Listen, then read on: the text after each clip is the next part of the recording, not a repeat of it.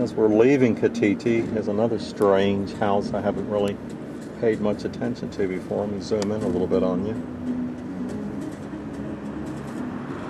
Looks arts and crafts, late 20s, early 30s probably. Tell you, every time you come here, you're going to see something strange and unusual. See what you think of that. And that'll be it.